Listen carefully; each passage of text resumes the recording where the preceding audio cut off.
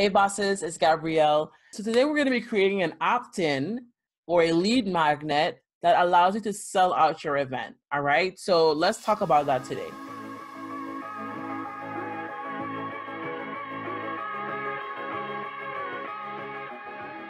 And we're going to be pretty quick. It's going to be very quick and dirty video.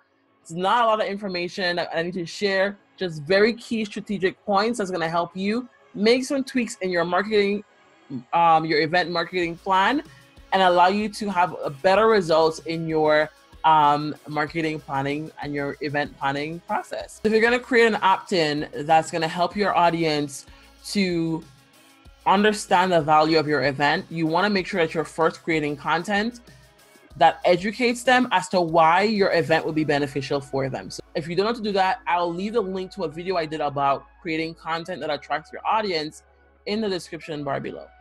Number two, you want to create content that separates your audience or separates your ideal clients from your target audience.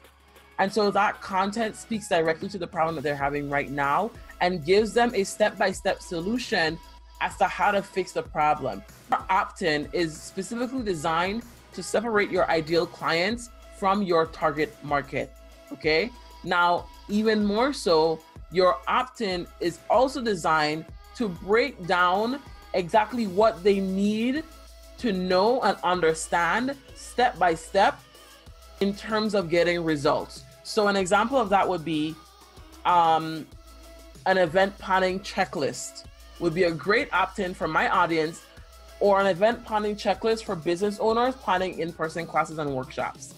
That would be a good opt in because I'm trying to get people on my email list or you know on my in my event marketing funnel who are interested in planning events but not just interested in planning events. They're entrepreneurs who are interested in, interested in using events to grow their business. They're interested in using events as a marketing tool. So i'm going to give them a step-by-step checklist as to what they need to do to plan their event. I'm going to give them a step-by-step guide as to what they need to have in place for their event maybe an event funnel um, template, stuff like that would be good opt ins for my particular audience.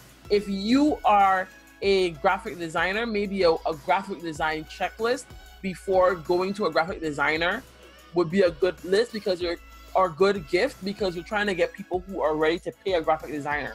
So um, 10 things you need to have prepared before paying a graphic designer. The people who get on that list are specifically people who are looking for graphic designers and are ready to pay for graphic designers, right? So that will be an example of what I'm talking about there. So this will be something that gets someone ready for the solutions that you're offering.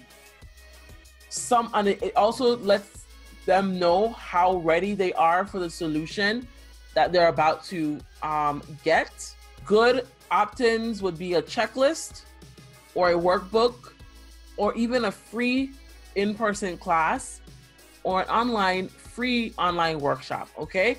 So just wanted to break those things down for you. So let's run through a quick example.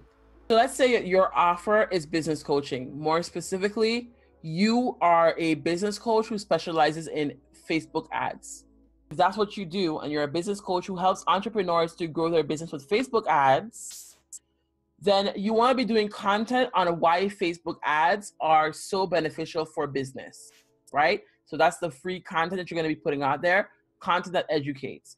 Now you want to have content that qualifies, which could be a free event or your or, or your checklist that kind of breaks down what they need to understand. So that could be everything you need to know about um, Facebook ads for business owners um, or Facebook ads for business owners. And you break down the process of Facebook ads for business owners, right? That could be a free in person class or workshop or a checklist that invites them to a class or workshop, okay?